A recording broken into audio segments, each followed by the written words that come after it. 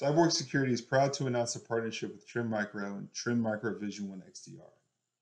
The Trend Micro Vision One XDR tool is now supported within the Hunter platform, and you can select it using the filter bar on the left. This also allows you to filter on things like the MITRE ATT&CK framework and other contextual tagging shown here.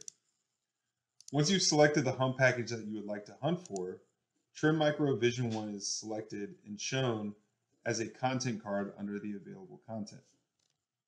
Every hunt package also includes an overview and description of the hunt, the query logic used to hunt for the actual malware, threat, tactic, or TTP, any research, analyst notes, and threat descriptions, references, as well as response actions, including the runbook or mitigation recommendations.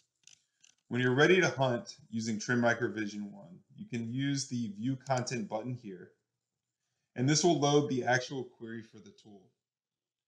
After you've been onboarded in Hunter, you can also set up the Open and Trend Micro Vision 1 button here, and this will immediately trigger the integration,